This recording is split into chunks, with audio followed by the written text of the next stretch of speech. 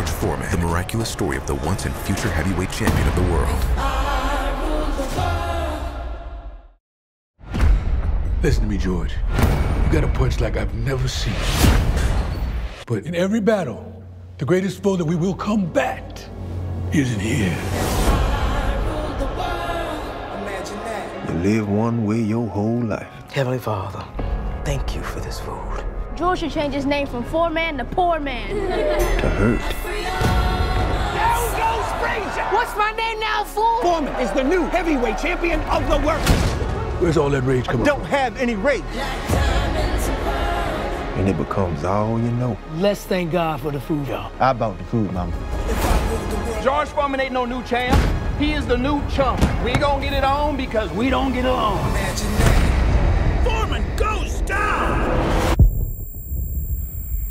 Who said that? Nobody said nothing, George. Hey, whoa, whoa, whoa. Your heart stopped.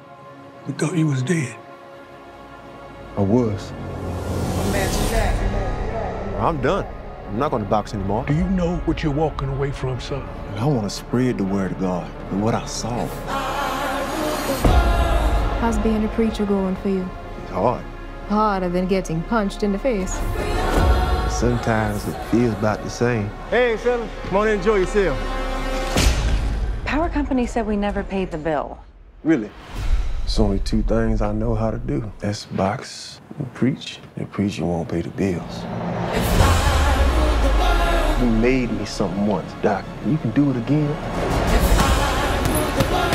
It is my destiny to win the heavyweight championship belt again.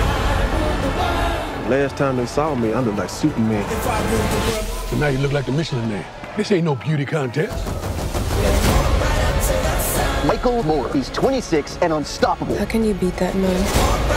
Foreman is considered an old man in this young man's game. It's now or it's never.